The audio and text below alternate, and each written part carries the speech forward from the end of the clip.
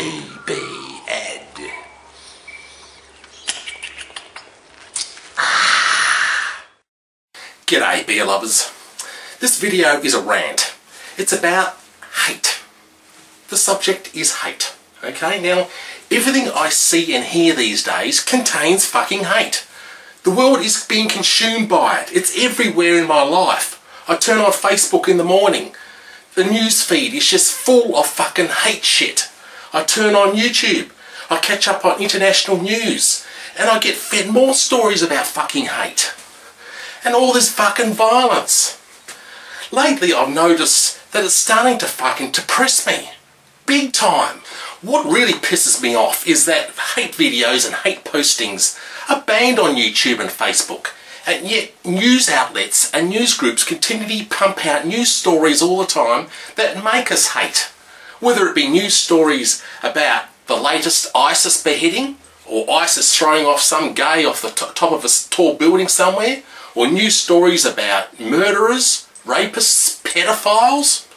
When we swallow what the news outlets are projecting, we become like an army united in a common hatred. Now, people generally love to have something to hate in their life, don't we? It becomes part of our belief systems. It's like a form of fucking religion. Some people get totally obsessed with hating something. Some people are simply born to fucking hate. Now in this video, I'm not picking on anyone specifically. Okay, there's no one I'm targeting in this video. Now if my rant is touching a raw nerve within you, well that's your fucking problem, okay? Now, I'm no angel myself, I admit that. Now if you go through my channel, you'll find the odd hate video here and there. You know, what really gets me worked up with hatred is seeing bastards being cruel to animals and seeing people being cruel to other people who don't deserve it. I also hate fucking corrupt people. Yeah. Like I said, we're all born to hate. Now I've started to realise that you cannot defeat hate with hate. If you look at ISIS, okay, they broadcast these atrocities onto the web so that us in the West end up hating them because we're repulsed by it. But what does it also do? It forces a lot of people in the West to hate all Muslims. You know, and what happens then? It forces the, peace, the peaceful Muslims living within the West to rise up and rebel and become jihadists themselves. And that's what fucking ISIS wants. They want us to hate Muslims. Now our own Western media reports their atrocities. And what happens? We all become conscripted into the army of anti-Islamic haters. You know, we, we all become these Islamophobes.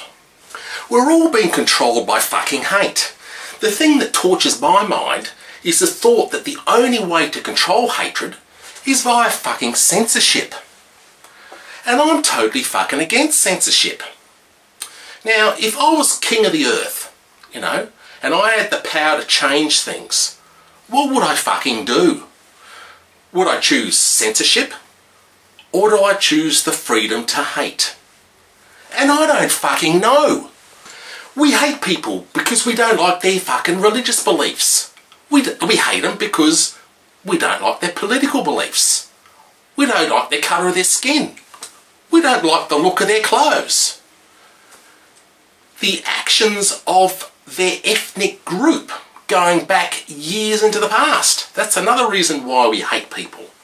And we stereotype people and judge them on the actions by others in their stereotype category.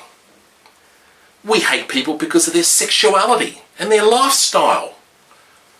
Something that they've said. That gives us another reason to hate someone. Blah, blah, blah, blah, blah. It goes on and on and on. So as you can see, hate is just sheer stupidity. It's lunacy. Now, I have a simple request to all of you guys, and it is this. Don't judge me harshly because I don't share the same hatred as you, okay? I respect your right to hate whatever you fucking want. But please do not try and recruit me into your army of fucking hate.